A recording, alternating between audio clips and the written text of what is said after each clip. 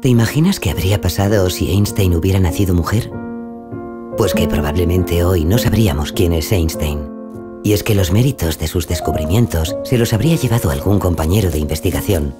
Este fenómeno, que se conoce como efecto Matilda en honor a Matilda Jocelyn Gage, la primera activista en denunciarlo, señala la injusticia que ha ignorado, de forma sistemática, los hallazgos de brillantes científicas a lo largo de la historia.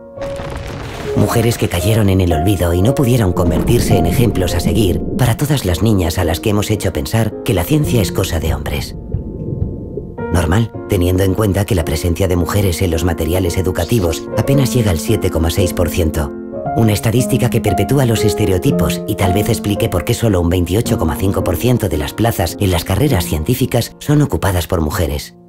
Por eso lanzamos No More Matildas, un movimiento para devolver a todas estas científicas al lugar que les corresponde, empezando, ¿por qué no?, por esos libros de texto. Porque el talento no tiene género y prescindir del que podría desarrollarse en niñas y adolescentes que no eligen una carrera científica por no tener espejos en los que verse reflejadas es una herencia cultural que no nos podemos seguir permitiendo.